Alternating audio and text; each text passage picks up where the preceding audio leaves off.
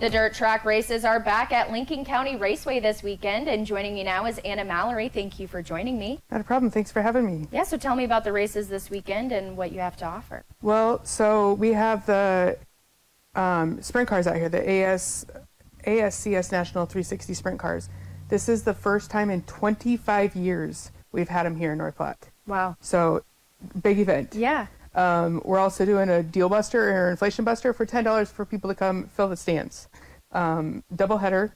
Tonight it starts at seven. Tomorrow night it starts at six. Um, we're excited to have everybody. It's really really fun to see the, the sprint cars, let alone any of the race cars. But it's also championship night tomorrow night. So we're in the battle for points. Um, we have quite a few real close, I mean real close contenders here for first place for championship night. So it's really exciting. Like, come out, have fun, it you can get the tickets at the gate or you can go to bstracing.com and get our tickets there as well. But okay. they are available at the gate for $10 tonight only. Awesome. So with those sprint cars uh, for people who don't go to races regularly i guess can you explain kind of the difference between those cars and the ones that we normally see?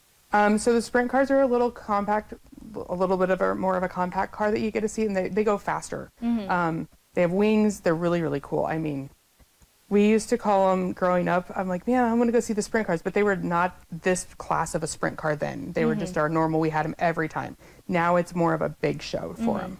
Okay, awesome. Is there anything else that people can look forward to before showing up? Uh, nope, we'll have food food vendors out there in the beer garden. So okay, awesome. Is there are there is there anything offered for kids out there? Are they doing the face painting again this weekend? I don't know or? if we'll have face painting okay. or not. We might. We never know. And but yeah, well, fan appreciation. You know, so come out and enjoy. Yeah. Definitely. Do you know how long normally the events run throughout the weekend? Um, usually, well, if we start at seven, it should be done. Hopefully, minimal minimal wrecks and stuff. We should be done by hopefully 10, 30, 11. Okay. Okay. Awesome. Well, it sounds like a fun evening, especially a fun weekend in general, and definitely the time to get out there and see those sprint cars. Yes. Uh, don't have many opportunities for that. No, so. we don't. In 25 years, I mean, it's going to be yeah going to be busy. That's awesome. Well, thank you so much for joining me.